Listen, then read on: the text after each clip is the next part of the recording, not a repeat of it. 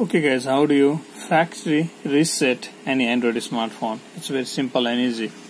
You want to wipe out everything, you want to make your phone software new, like a newly purchased one. So factory reset. Whichever Android phone you are using, follow the same steps. So you just have to tap the setting in your phone. Inside setting, somewhere you're gonna look for reset or factory reset. Sometime it is inside system so different phone has a different setting arrangement.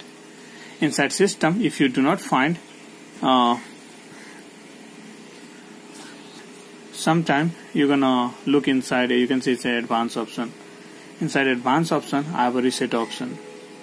Here it is erase all data factory reset. So different phone has a different arrangement. So somewhere inside setting, you're gonna check in different folder where you have a factory reset. Click on factory reset.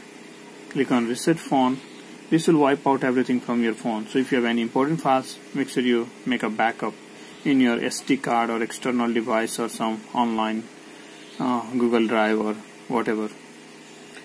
Click on erase everything and this will wipe out everything whatever you have in, your, in your phone and it will be like a newly purchased one. So it's gonna take some time.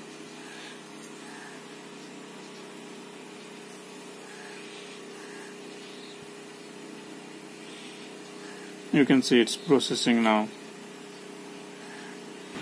Okay guys in a few minutes now you're gonna see set up the language and then just click on next. You can see here you have option. Okay let's go. If you have a let's go or next you can connect to the Wi-Fi if you like. You can enter the username and the password and all in your phone and set your date and time everything. Just go on. So accept the license terms and conditions if you want you can use the fingerprints or skip you can use the username and the password and all.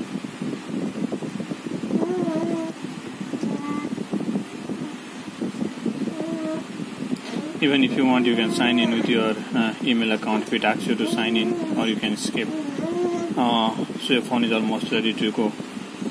So this is the way how you can factory reset any android smartphone in a few minutes your phone is like a newly purchased now. Everything is so fresh. Your software is like new. It's uh, wipe out everything junk and unnecessary things. So if you like this tutorial be sure to hit the like button subscribe and comment. Have a good day